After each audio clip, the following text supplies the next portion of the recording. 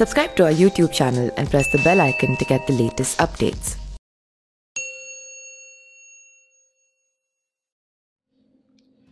नमस्कार दोस्तों, आप सभी का स्वागत करते हैं न्यूज़ लाइव में। दोस्तों, बात करें तो उत्तर प्रदेश में आगामी विधानसभा चुनाव को लेकर सरगर्मियाँ तेज हो गई है और इसको लेकर तमाम नेता अपने अपोजिशन पर लगातार निशाना साधते नज़र आ रहे हैं।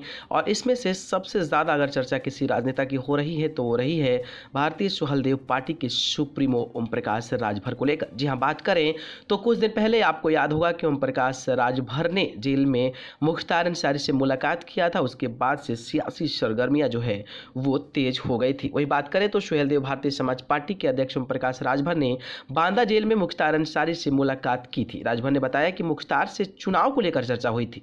इससे पहले राजभर ऐलान कर चुके हैं कि मुख्तार अंसारी चाहे जहाँ से भी उनकी पार्टी टिकट अगर देना चाहती है तो वहाँ से मुख्तार अंसारी ले सकते हैं।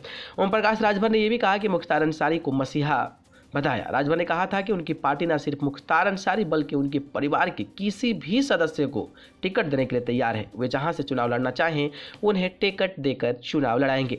माफिया होते तो जनता क्यों वोट देती? उन्होंने राजभर ने कहा कि मुख्तार जनता के वोट से चुनाव जीतते हैं। अगर वे माफिया होते तो लोग वोट क्यों देते? इस नाते मुख्तार अंसारी गरीबों का मसीहा है। उन्होंने कहा कि जहाँ तक जेल में बंद होने का सवाल है तो किसी पर भी केस दर्ज हो, उसे जेल जाना पड़ेगा, लेकिन उन्हें अभी तक सजा नहीं हुई है।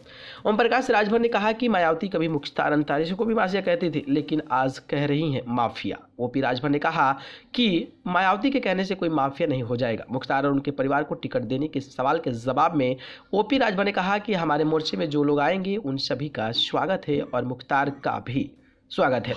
अगले साल होने वाले विधानसभा चुनाव के लिए ओम प्रकाश राजभर की पार्टी सुहलदेव भारतीय समाज पार्टी ने समाजवादी पार्टी के साथ गठबंधन का ऐलान कर दिया है। हाल ही में अखिलेश यादव ने कहा था कि उन्होंने राजभर पर भरोसा है, जल्द ही दोनों पार्टियों के बीच सीटों को लेकर भी फैसला हो जाएगा, जिसको लेकर मुलाकात के बाद मुख्तार अंसारी से ओम प्रकाश राजभर पर अपोजिशन पार्टी भी हावी हो रही है और लगातार उनको लेकर अलग अलग बयान भी दे रही हैं। आपकी क्या राय है? कमेंट बॉक्स में ज़रूर बताइए। न्यूज़ रूम से न्यूज़ लाइव करवा